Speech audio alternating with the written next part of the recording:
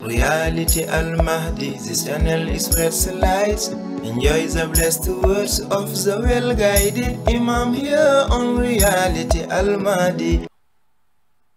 Now the other question asked about the stones being used in Jahannam. It's the mystics who can teach it to you. You see, there are two types of stone. A stone labeled as a non-living, when in fact it's alive because Allah gave him a soul. That's why people who've said that the Jamadats don't have souls didn't consult the aristocrats of heaven. As they believe that two types of stone exist, a stone with a soul and a stone without a soul. The stones Allah will be using to fuel hellfire will not have souls. The stones and mountains with a symbol and in which the prophets visited, like the case of Turi Sinin, those kinds of mountains have souls.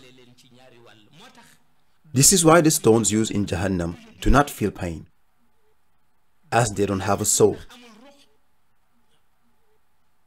Allah in His decree will transform them into a punishment for humans. That is to say, the stones will burn humans,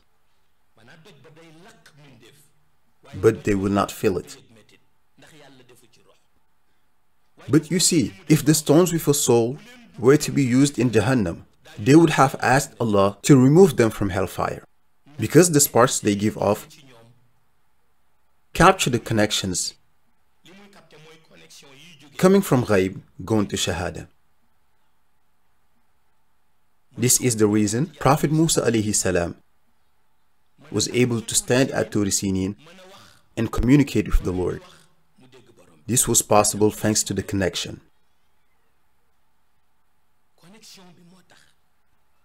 And these types of connections are activated with the help of the zikr towards the Prophet wasallam.